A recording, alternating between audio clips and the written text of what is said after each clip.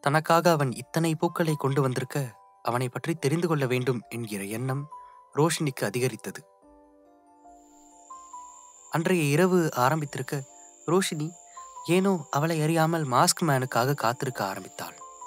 மேலே இருந்த பால்கனியில் நடந்து கொண்டிருந்த அவளின் பார்வை அந்த பெரிய வில்லாவின் ரோட்டுப்புறமாக இருந்த கேட்டின் மீது பதிந்திருந்தது. ஆனால் அவன் வரவில்லை. அவளுக்கு ஏமாற்றமே கிட்டியது. அவ்வளவு பெரிய வீட்டில் தனியாக தூங்க பயமாக இருந்தது. இந்த நேரம் அவள் போனிலிருந்து நோட்டிபிகேஷன் சத்தம் வர அதை எடுத்து பார்த்தாள் மாஸ்க் மேன் தான் அவளுக்கு மெசேஜ் அனுப்பியிருந்தான். என்ன தூங்கிட்டியா. இல்ல தூக்கம் வரல. ஏன்? இது என்ன கேள்வி? தூக்கம் வரலனா தூக்கம் வரலதான். படுத்த உடனே யாருக்காவது தூக்கம் வருமா? அவள் பாட்டுக்கு டைப் செய்து அனுப்பிவிட்டாள். ஆனால் எங்கு அவன் தவறாக எடுத்துக்கொள்வானோ என்று நினைத்தவள் அடுத்த நொடியே அந்த மெசேஜை டெலிட் ஃபார் எவ்ரி ஒன் கொடுத்து டெலிட் செய்து விட்டாள் அவன் பார்த்துவிடக்கூடாது என்று. தூக்கம் வரலனா நான் வேணா உன்கிட்ட பேசிட்டு இருக்கட்டுமா? அவன் இப்படி பதில் அனுப்ப தான் அனுப்பிய மெசேஜை அவன் பார்க்கவில்லை என்று நினைத்தாள்.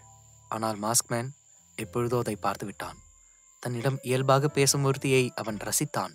எனவே அவளிடம் எதையும் வெளிக்காட்டிக் கொள்ளவில்லை. நீங்க தூங்கலையா? இல்லை எனக்கு கொஞ்சம் வேலை இருக்கு. அதை முடிச்சிட்டு தான் நான் தூங்குவேன். அப்போ சரி பேசுங்க. அவன் உடனே அவளுக்கு ஃபோன் செய்தான். இருவரும் பேசத் தொடங்கினார்கள். நேரம் போனதே தெரியவில்லை. பேசிக்கொண்டே இருந்தார்கள். அவனுக்கு இது போன்ற விஷயங்கள் எல்லாம் புதிது. என்ன பேசுவது என்று தெரியாதவன் அன்று காலையிலிருந்து நடந்தவற்றை அவளிடம் சொல்ல ஆரம்பித்தான். முதலில் ம் ம் என்று கேட்டுக்கொண்டிருந்தவள் ஒரு கட்டத்தில் அவன் பேசியது போரடிக்க அப்படியே தூங்கியும் போனாள். சில மணி நேரம் கழித்து தூக்கத்திலிருந்து கண் வெடித்தாள் ரோஷினி அவள் போனிலிருந்து இன்னும் சத்தம் கேட்டுக்கொண்டிருந்தது. அடித்து பிடித்து எழுந்தவள் போனை எடுத்து பார்க்க அவன் இன்னும் லைனில் தான் இவளிடம் பேசிக் கொண்டிருந்தான். என்ன இவரு? இவ்வளவு நேரம் போன்ல பேசிட்டு தான் இருந்தாரா? மனதில் நினைத்தவாறு அதிர்ந்து போய் போனை பார்க்க அதில் கிட்டத்தட்ட இரண்டு மணி நேரம் கால் கனெக்ட் ஆகி இருப்பதைப் போல காட்டியது. என்ன நீங்க? இவ்வளவு நேரமா பேசிட்டு தான் இருந்தீங்களா? இல்லை நான் எங்கே பேசுறத நிறுத்திட்டா நீ எழுந்துருவியோன்னு நினச்சேன். இவரை புரிஞ்சுக்கவே முடியலையே. யாராவது இப்படி தனியா இவ்வளவு நேரம் பேசிட்டு இருப்பாங்களா அவன் தனக்காக தூங்காமல் இருந்திருக்கிறான் என்று நினைக்க அவளை அறியாமல் மனம் அவன் பக்கம் சாய்ந்தது. அதே நேரம் இவ்வளவு சின்ன விஷயத்திற்கு இப்படி செய்கிறான்? இவன் உண்மையில் எப்படிப்பட்டவன் என்கிற பயமும் எழுந்தது. ஆரி? அவள் முதல் முறையாக அவன் பெயர் சொல்லி அழைத்தாள். இப்போ என்ன சொன்ன கமகை? அது நான் உங்களை நீங்க சொன்ன பேர்ல கூப்பிட்டேன். ஆரின்னு. அவள் தன்னை அப்படி கூப்பிடுவது அவனுக்கு பிடித்திருந்தது. மீண்டும் மீண்டும் அவள் தன்னை அப்படி கூப்பிட வேண்டும் என்று நினைத்தான். ஆரி நீங்க லைன்ல இருக்கீங்களா? இருக்கேன் சொல்லு. அப்புறம் ஒரு முக்கியமான விஷயங்க. அது என்னன்னா எனக்கு இந்த மும்பை சிட்டில ஒரு கம்பெனில வேலை கிடைச்சிருக்கு. அதுக்காக தான் நான் இங்க வந்தேன். முதல்ல நான் போவேனான்னு தான் நினைச்சேன். ஆனா இப்போ எனக்கு இங்க தனியா இருக்க போர் அடிக்குது. நான் வேணா அந்த வேலைக்கு போகவா?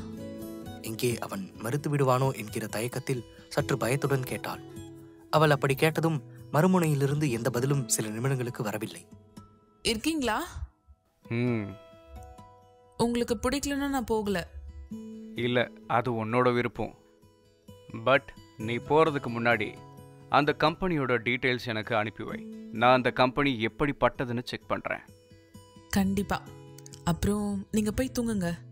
நைட் ஃபுல்லா தூங்காம இருக்கிறது உடம்புக்கு நல்லதில்ல. அவள் அக்கறையாக கூற அதை கேட்டு அவனின் இதழோரம் ஒரு அழகான புன்னகை எட்டி பார்த்தது. என்னை பற்றி நீ கவலைப்படாத. நான் தூங்கலைனாலும் ஐ கேன் சாட்டிஸ்ஃபை யூ அதை கேட்டவளுக்கு எங்கு சென்று முட்டிக்கொள்வது என்று தெரியவில்லை. அதற்கு மேல் அவனிடம் என்ன பேசுவது என்றும் தெரியவில்லை. மனதிற்குள் அவனை திட்டினாள். நான் எதுக்காக சொன்னா இவர் என்ன பேசுறாரு பாரு. அட கடவுளே.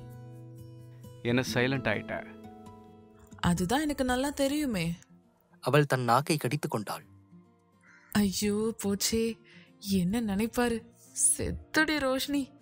உன்னோட வாயில சனி வாயை மூடிட்டு இருக்க வேண்டியதானே ம். அவன் ம் என்று மட்டும் பதில் அனுப்ப நித்தம் தவறாக புரிந்து கொண்டான் என நினைத்த அவளின் முகம் அப்படியே சுருங்கியது. அது மட்டுமா? அவளுக்கு இப்படி யாரேனும் ம் ம் என பதில் அனுப்பினால் சுத்தமாக பிடிக்காது. கோபத்திலும் சோகத்திலும் முகம் சுருங்கிவிட்டது. Okay bye. லேட் ஆயிடுச்சு நான் தூங்குறேன்.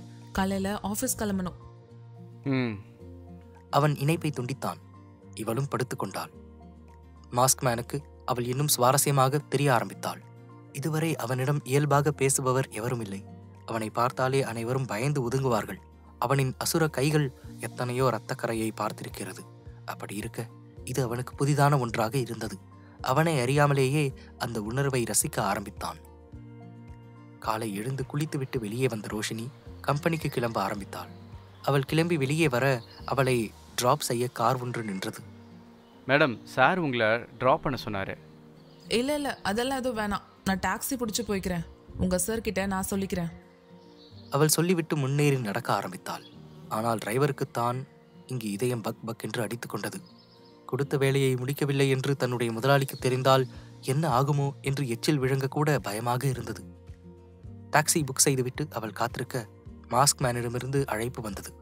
அவன் அழைக்கிறான் என்றால் நித்தம் ஏதாவது முக்கியமான விஷயமாகத்தான் இருக்கும் என்று ரோஷினுக்கு தெரியும். எனவே சற்று பயத்துடனே அந்த அழைப்பை ஏற்று போனை காதில் வைத்தாள். இது போன்ற உறவுக்கு அவள் இன்னும் பெயர் வைக்கவில்லை. யாரென்று தெரியாத ஒருவனிடம் அவள் வாழும் இந்த ரகசியமான உறவு எங்கே சென்று முடியுமோ? அதற்கு இந்த காலம்தான் பதில் சொல்ல வேண்டும். கேளுங்க secret boyfriend audio series உங்க குக்கு எஃப்எம் ஆப்ல டவுன்லோட் தி ஆப் நவ்